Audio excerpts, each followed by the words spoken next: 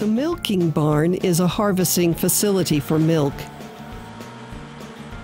Keep in mind that cleanliness is of the utmost importance. Always wash and sterilize your boots before entering the barn. Keep walkways clear of debris and moisture. Hoses and other obstacles should be moved along the walls and out of the way of pedestrians. Safety footwear, such as non slip boots with cushioning to reduce fatigue, are recommended. Eye protection is recommended when milking.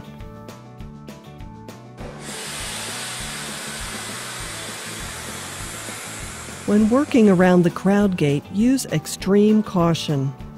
The crowd gate automatically moves, and you can become pinned between the cattle and the gate if you are not careful. There are many variations to the standard milking routine, but most dairies follow roughly the same procedure.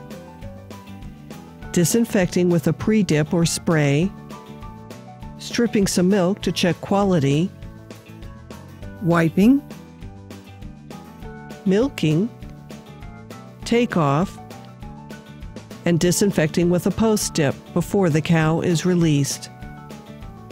Milkers should be aware of the danger of being kicked, especially by inexperienced heifers. Avoid being loud in the milking parlor. When dipping the teats, be careful not to be splashed in the eyes with the chemical. Be cautious when using disinfectants. Protective clothing is recommended, such as an apron, gloves, and slip resistant boots. Remember, always wash boots before entering the barn. Keep walkways clear of debris and moisture. Use caution around crowd gates. Watch out for kicking. Use care with disinfectants. Wear recommended clothing. Follow your dairy's recommended milking routine.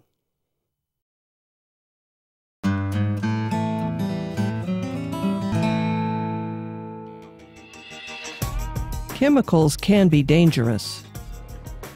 When not in use, all chemicals should be stored in a locked, purpose built chemical locker or shed.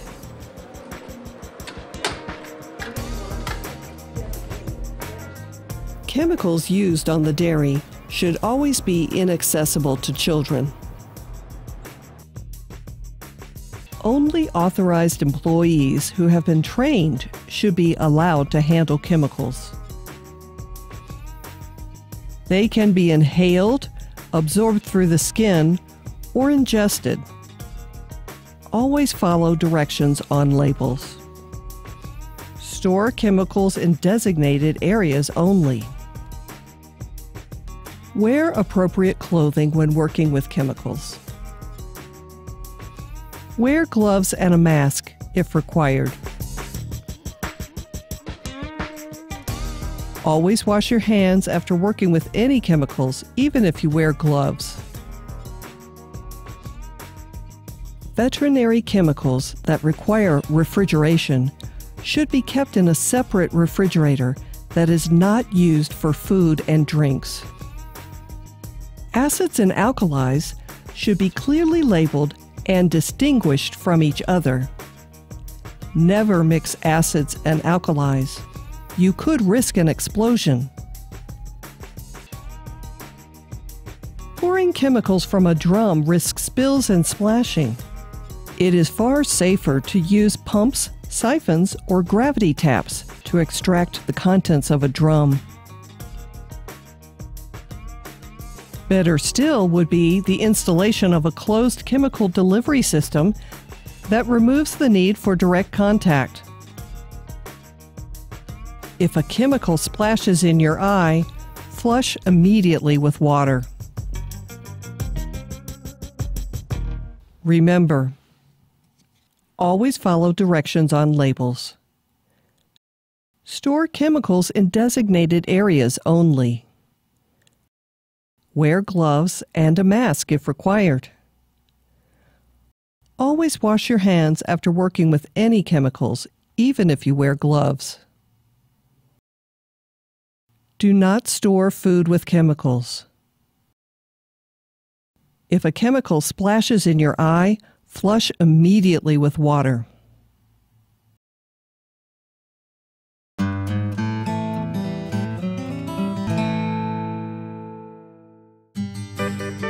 The miracle of birth is an everyday occurrence on most large dairy farms, but it is still an uplifting and important event. Your supervisor should give you training and guidelines on observing and assisting cows as a calf. Most calf deaths on arrival, or DOAs, are due to injuries or suffocation resulting from calving, delayed calving, or injury from improper assistance knowing when and how to assist can make a big difference in the number of healthy calves on the dairy. Remember, the large majority of cows and heifers will calf without any assistance.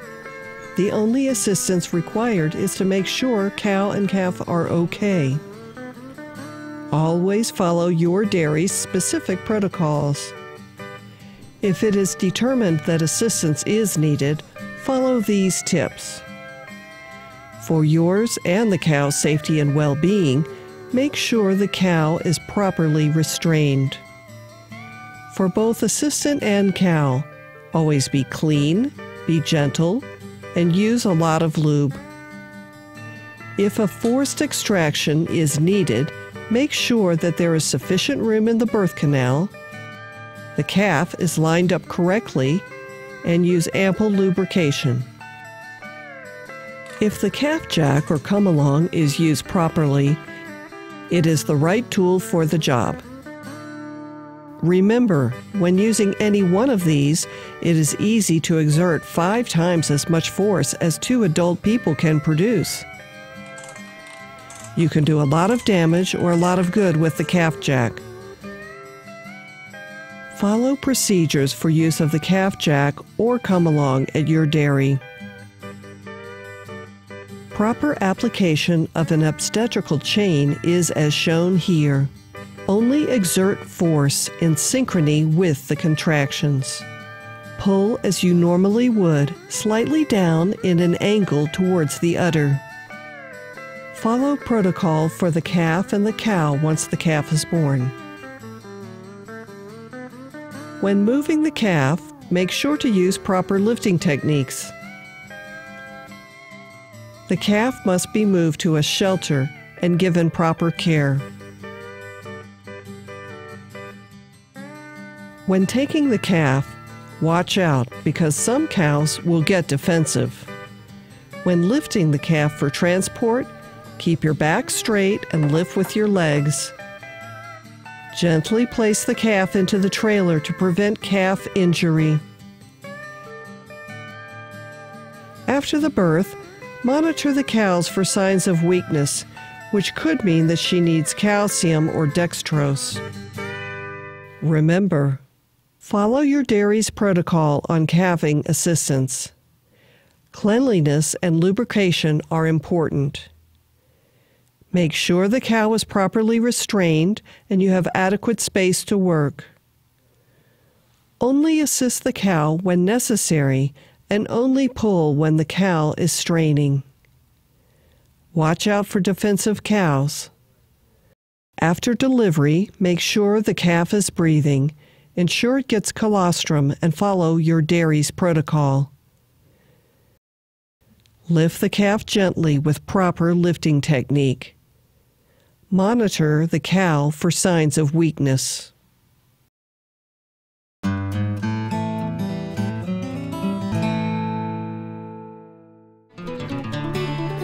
Following are some tips for proper calf care. A clean calf is a healthy calf. Feed and water given to calves should always be clean. Hutches or pins should be clean and dry. Calves should have overhead shelter and a windbreak. The person that is feeding calves must be aware of the importance of cleanliness of all feeding equipment to prevent the spread of disease. Bottle wagons are notoriously easy to flip. Take care in driving and turning corners. Never let the wagon run without a driver.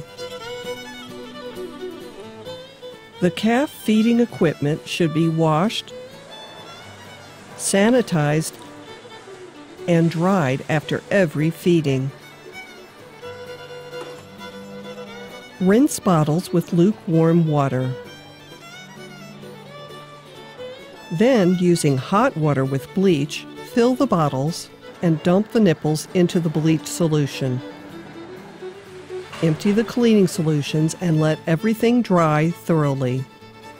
Take care not to get burned by hot water. Wear proper clothing and eye protection. Remember, a clean calf is a healthy calf. Take care not to flip a bottle wagon. Feeding equipment must be washed, sanitized, and dried after every feeding. Take care not to get burned by hot water. Wear proper clothing and eye protection when cleaning bottles.